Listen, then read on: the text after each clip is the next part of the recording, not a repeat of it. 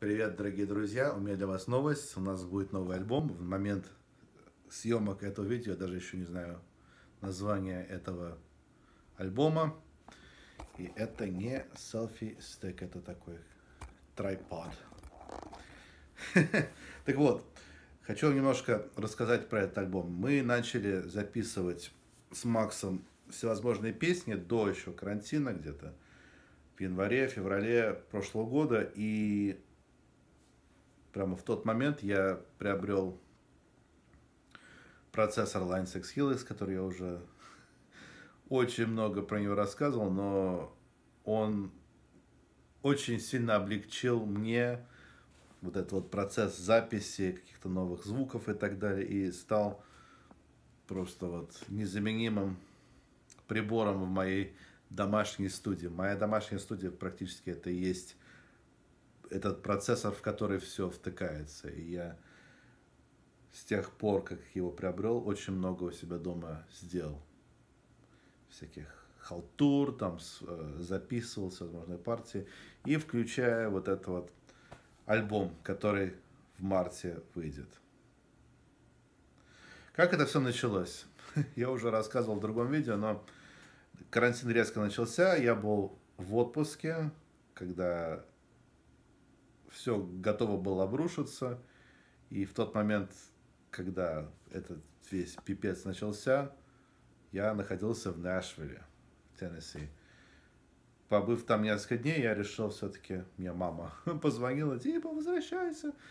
Говорила мне поехать домой. Я просто вот еду в машине, слушаю музыку и, и ощущаю, что надвигается полный пипец.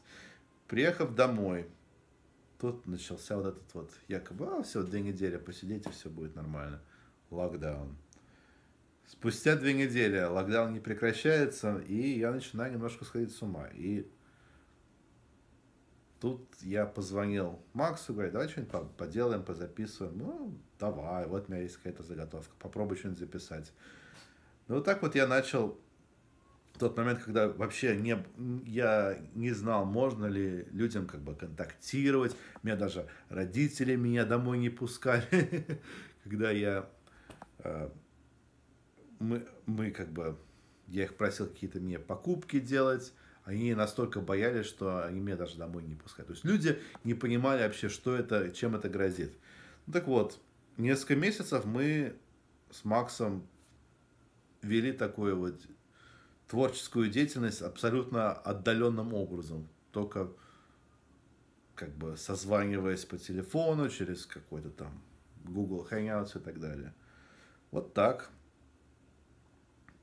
И много у нас было песен, которые мы записали в тот момент, когда мы записывали песни как «Золотое время», «Дышать», «Телезвезда» и так далее. И многие из этих песен, они как бы были не то что забракованы, они как бы не пошли, они вроде бы что-то у них было, какой-то потенциал, но они были положены на полку. Так вот, вот эти вот песни были в итоге закончены, и вот мы имеем тот самый альбом. И это не то, что они как бы бракованные какие-то второсортные, просто они вот ну, такие вот более неформатные, знаете, как бы. В этих песнях мы ввели, опять же, такой творческий, э, творческий процесс между нью-йоркской командой, включая меня, и российской командой «Ногу свело». Благодаря интернету совершенно спокойно можно соединить всевозможные дорожки. Я могу у себя дома записать, я могу к Максу приехать домой, мы что-то можем записать. Из Москвы кто-то может прислать. В общем, вот такой, такая вот сборная солянка, очень, очень, очень здорово. Из инструментов, что я, что я там наделал? Я, вот, например, Euphonium, видите, вот такой инструмент, медно-духовой инструмент, который я приобрел за месяц до карантина. Такой у него, ну, короче, вы услышите. Звук такой, как у баритона, но более благородный, более как валторна. Приобрел эту вот белую гитару, которая всякие фишки делает всякие экзотические акустические звуки. Просто обожаю эту гитару. Это, это, это гитара, которая сделала песню «Заебали» и несколько еще песен. А, Лес Пол свою гитару использовал, свой стратокастер он гитару использовал. Скрипку, флейту, трубу.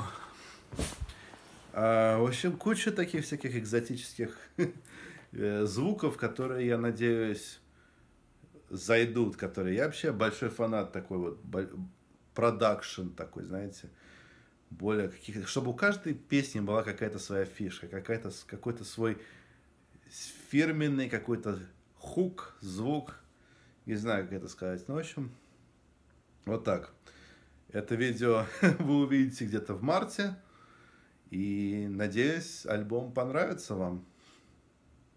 Мы очень много на него времени потратили. И вот он такой вот неформатный, не такой вот не совсем стандартный и оригинальный.